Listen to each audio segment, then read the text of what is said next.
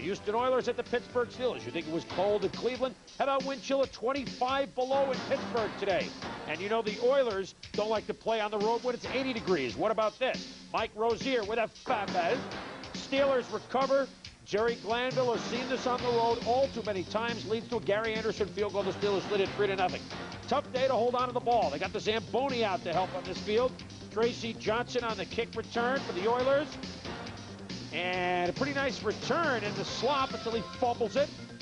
Richard Smith tells Johnson, don't you fumble again, or something like that. Bubby trying to keep warm, but the wind just too harsh. As the ball gets blown away on Brister's pass. So the Steelers figure, let's try a trick play. And Axe's favorite, Merril Hoge, not Bubby, gets the snap and goes for 15 yards, looking for a 100-yard day. More stuff up Bubby's sleeves. The reverse in the slot to Louis Lipps. Lipps will pick up 11 yards before he's twisted down at the 20-yard line. Two plays later, let's run that again. We like the way that looks. Lipps wiggles down to the five. Setting up a touchdown, 10-0 Steelers looking for the upset. Temperatures dropping and the Steelers trying to warm up.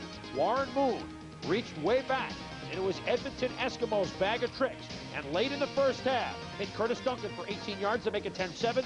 And then, with time running out in the first half, the beautiful catch by Drew Hill. So two clutch late first half touchdown passes by Moon have the Oilers up 14 to 10. Very quickly, they try and clean this field. Got to get this guy to do our driveway. Steelers driving. Tim Worley busts it open. His first 100-yard day as a pro.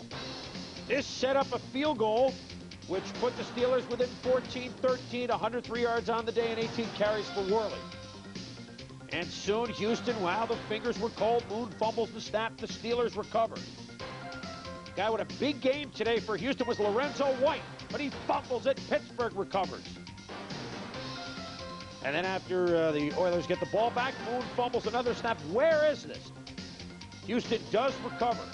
Eventually, Glanville could kind of read through the snow and have him drive, but Moon, they set up a Zendejas field goal, which is no good. Seven fumbles today for the Oilers. They lost three of them. Steelers down 16-13. Chuck Noll uses what else? The reverse to Louis Lipps. Fourth one they call today. This sets up a chip shot field goal by Gary Anderson. We're tied at 16 late in the fourth quarter. On the kickoff, the snowplow comes out. And, you know, we've seen this in New England. Glanville not happy. But Moon says, all right, now, Haywood Jeffires, is he in or out? They look at the replay.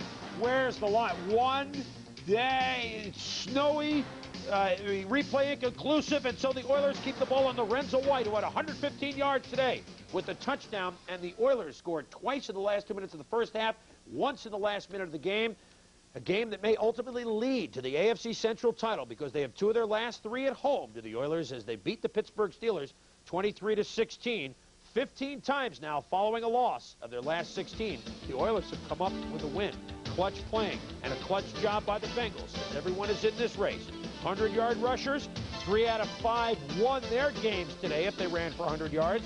300-yard passers on week 13 in the afternoon.